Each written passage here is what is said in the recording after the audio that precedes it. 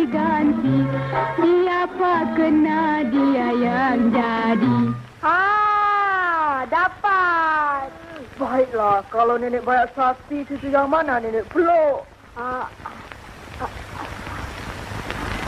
ah, cucu Puspawangi. Nenek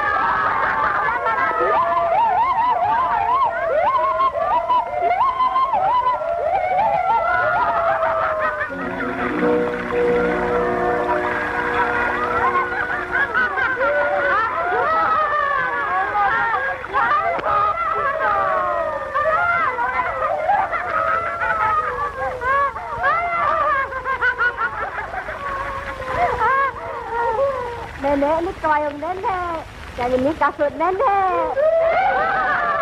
Wahai nenek si bobot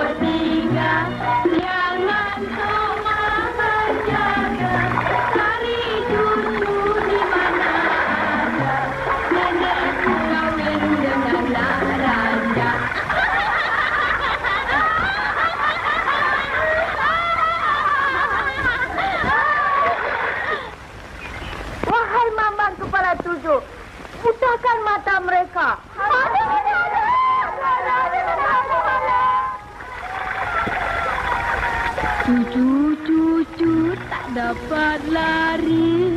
Nenek tua banyak saksi Sekarang nenek nak cari ganti. Siapa kena dia yang jadi? Ah, dapat.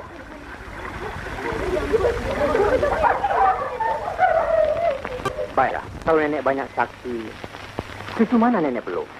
Ah, cucu insan. Bukan. Hmm, cucu kenanga. Juga bukan. Eh, cucu teratai. Ah, betul. Eh, teratai jadi. Teratai jadi.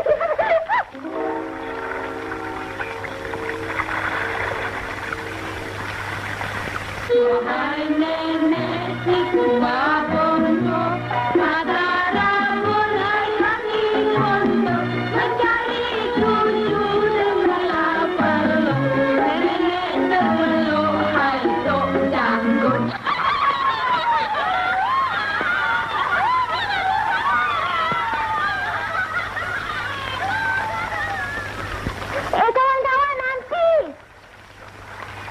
mana nenek?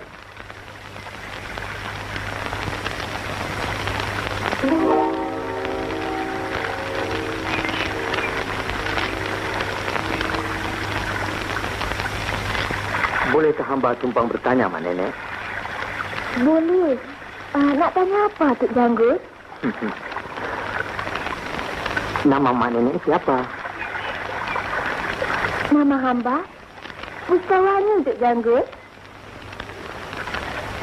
Ah, siapa nama Tuk Janggut? Nama hamba Tunila Utama, Raja Muda Pura Cindana. Ampunkan sakit tengku. Tidak ada apa-apa yang mesti hamba ampunkan. Bangun. Eh, bolehkah hamba berjumpa dengan ayah dan ibu Puspawangi? Boleh. Silakan. Aduh,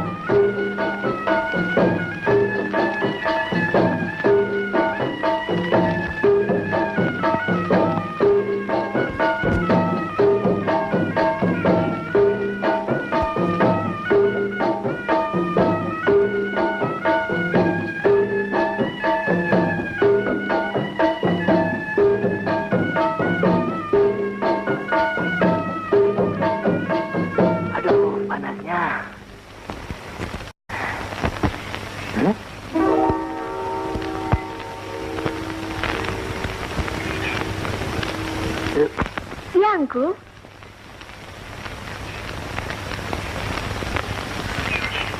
eh, mengapa tak menggunakan payung? Tak panaskah?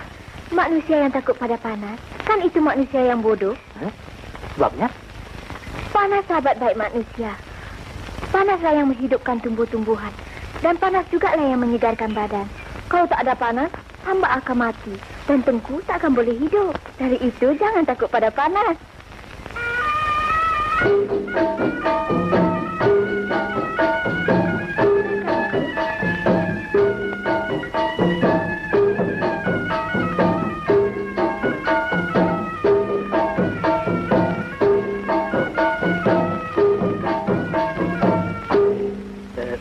jauhkah lagi rumah Tuan Hamba Pesuangi? Tidak, tidak begitu jauh. Sehabis saja hutan kecil ini, kita akan berjumpa dengan sebuah anak sungai. Di seberang anak sungai sanalah rumah hamba. Silakan, Engku. Eh, eh, Pesuangi? Ya, Engku.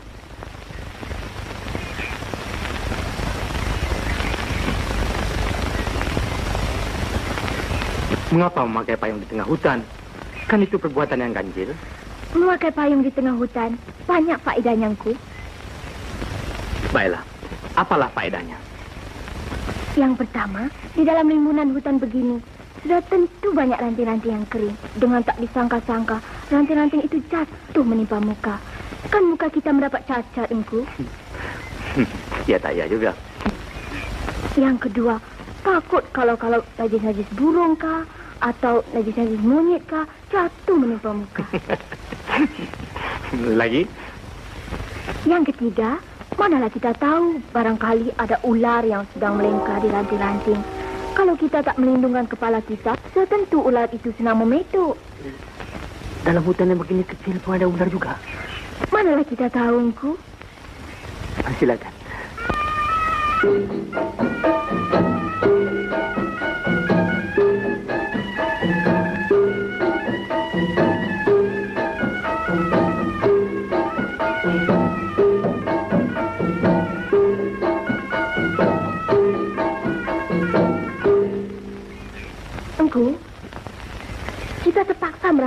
sungai ini. Nanduk. Tak berjebatankah sungai ini? Sudah menjadi kebiasaan orang di sini. Mereka lebih suka meranduk daripada penjebatan. Jadi tak ada jembatan lah. Ah, apa boleh buat?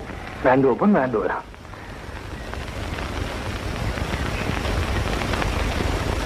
Silakan.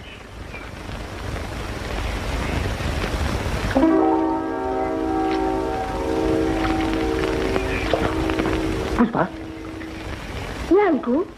mengapa pakai kasut dalam air? Kan nanti bus.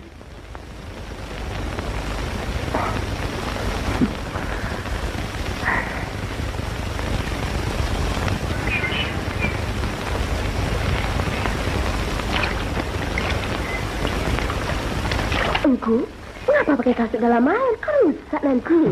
Pakai kasut dalam air banyak faedahnya, Pesuangi. Banyak faedahnya. Ya, malah tahu dalam yang keruh begini, entah ada paku kah, kaca kah, duri kah. Jika kita memakai kasut, sudah tentukan kita selamat, bukankah begitu? Hmm? Oh, begitu. Jadi, tak salahlah hamba memakai kasut dalam air. Hmm, tak salah. Siapa bilang salah? Nak, nak. Ada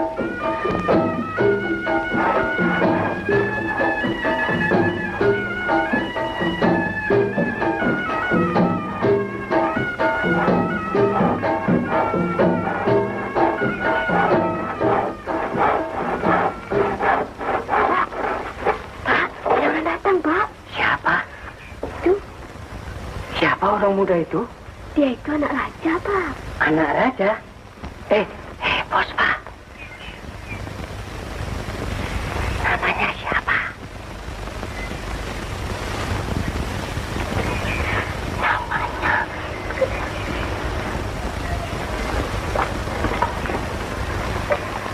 Hamba sungguh berbesar hati di atas kedatangan Tengku Tok Janggut anak Raja Sang Hanoman. Itu bukan nama hamba, bukan nama Tengku. Tapi anak hamba kata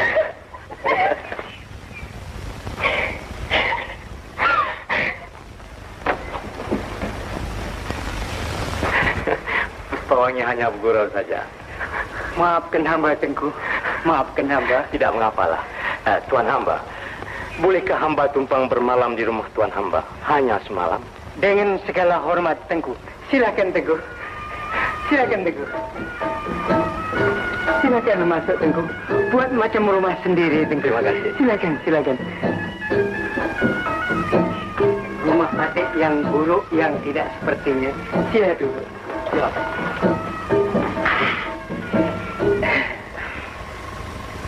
Yang sebenarnya Tengku dari mana? Siapa nama dan tidak kemana? Nama hamba Tunila Utama. Hamba berasal dari Pura Cendana. Tujuan hamba hendak mengembara melihat keindahan sekitar Buana. Oh, Marilah, maaf. Marilah, ada apa? Nila, yang ini mak hamba. Namanya Stanggi. apa kabar, Mak? Kabar baik, nak. Ini istri hamba, namanya Tangi. Nama hamba Kemenyan. Nama hamba tempat bara. Puspawangi sememang suka menguji hamba dan maknya. Adik Tangi, Saya Abang Kemenyan. siapkan makanan untuk Tengku Nila. Ah, tentang makanan janganlah susahkan. Hamba ada bawa bekalan. Masalah boleh kita makan sama-sama. Sudah Tengku, jangan. Patik sudah sedia dalam rumah ini. Tapi ini hajat hamba. Apa boleh buat Tengku hajat?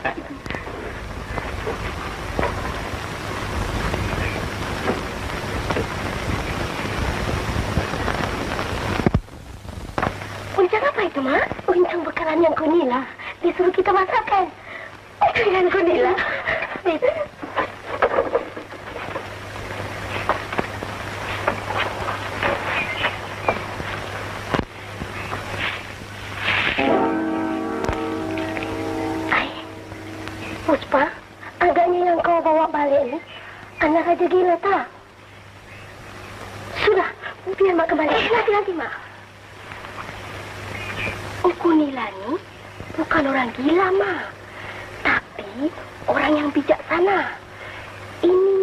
Mesti ada satu muslihat yang kita tak tahu.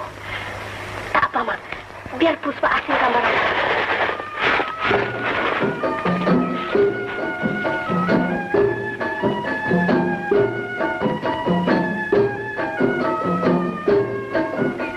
Sudah, Puspa. Sudah, nak.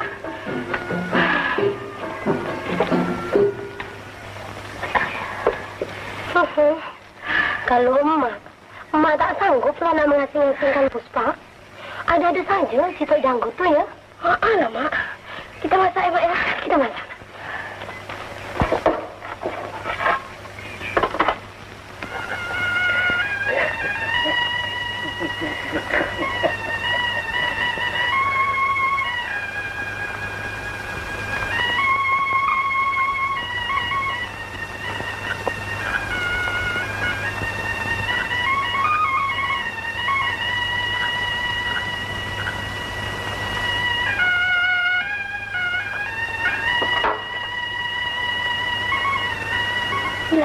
Engku Nila. Terima kasih. Silakan, Pak. Eh, eh. Kenapa Bapak tercengang? Eh, luar biasa betul masakan kau malam ini, Puspa. Dari mana kau dapat rempah-rempahnya? Dari uncang Engku Nila. Dari uncang hamba? Ya.